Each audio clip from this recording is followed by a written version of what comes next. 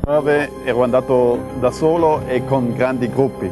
Volevo sotto tutti i costi fare anche uno degli 8000 metri in periodo invernale. Ero fallito già nell'82 sul Choyu e questa volta per gennaio-febbraio 86 avevo scelto il Makalu, forse l'invernale più difficile in tutto l'Himalaya perché la via dei francesi sta a nord-ovest, esattamente sul versante da dove vengono tutti i venti dal Tibet ed eravamo soltanto in due alpinisti assieme a questo gruppo della RAI, la quale eh, faceva un film, un documentario su questa ascensione. Hans Kammerland ed io, preparando la via parzialmente con le corde fisse, siamo saliti lentamente perché spesso il brutto tempo, il vento ci ha spinti giù al campo base verso il Maccalulà, da dove speravamo poi di poter fare in volata la salita verso la vetta. Siamo andati su alla, a metà di febbraio, un po' prima, verso questo Maccalulà e abbiamo capito subito che oltre il Maccalulà a 7500 metri non si poteva andare avanti. Siamo ridiscesi per questo canale stando molto attenti, cauteli, perché il vento con una forza oltre i 100 km orari ci poteva spingere via dalla parete. E abbiamo capito, avevamo capito non soltanto per questa settimana, che era impossibile rischiare di più. Non ha senso eh, non ha nessun senso di, di, continuare.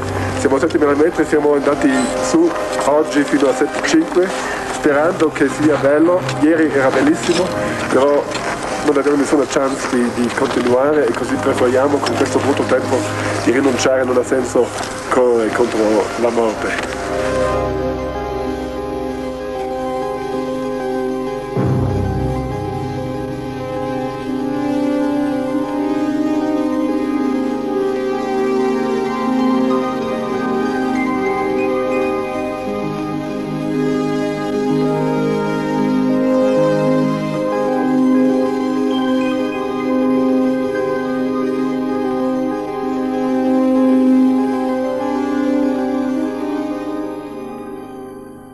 Dopo il fallimento della spedizione Macalù invernale, ho dovuto un po' cambiare il mio programma dell'86.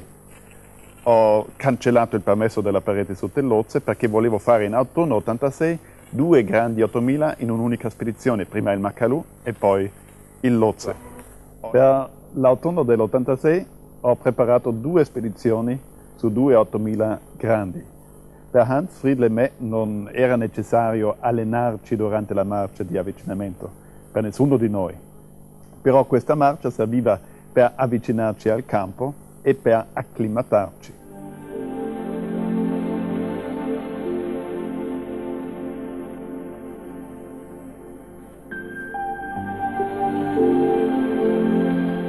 Siamo in pieno monsone, fa caldo e piove spesso. Per tutta l'estate e fino agli ultimi giorni di settembre spira il vento costante che proviene da sud-est e da sud-ovest, si carica di umidità sull'Oceano Indiano e porta continue precipitazioni su questo versante della catena himalayana. Non sembra certo l'epoca ideale per una spedizione alpinistica. Invece è proprio in agosto che normalmente si compiono le marce di avvicinamento alle grandi montagne nepalesi. Così, appena le prime schiarite ci annunciano la fine del monsone, siamo pronti ad iniziare la vera e propria scalata.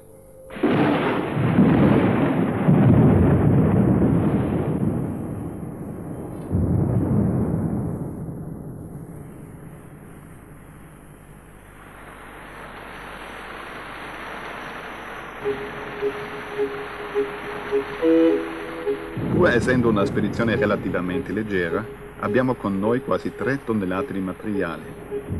Non sono solo le attrezzature alpinistiche, c'è anche un impianto radio per i collegamenti, le macchine da presa per gli operatori della televisione, la cucina da campo, conviveri per almeno due mesi, le bombole di gas e il kerosene per cucinare.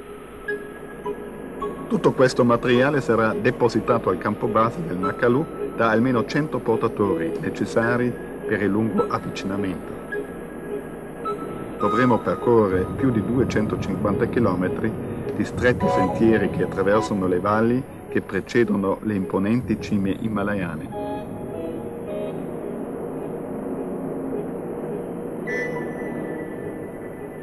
Man mano che i giorni passano saliamo lentamente di quota e il paesaggio cambia completamente.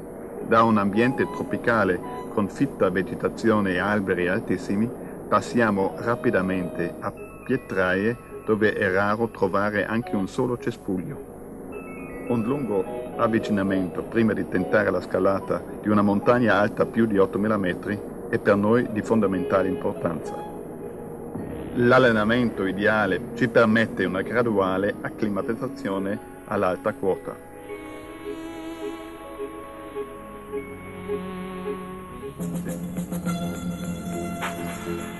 Finalmente, il 30 agosto, dopo dieci giorni di cammino, raggiungiamo il campo base ai piedi del Macalù. Mentre iniziano i lavori per il montaggio delle tende, diamo un primo sguardo alla montagna. Subito mi accorgo che non ci dovrebbero essere problemi di neve. Tranne qualche pericoloso accumulo che può provocare una valanga, la montagna sembra abbastanza pulita. Ho subito l'impressione che questa volta ho molto più possibilità di raggiungere la vetta. Il Macalù è l'unico 8000 che ho tentato di salire per tre volte e mi ha sempre respinto.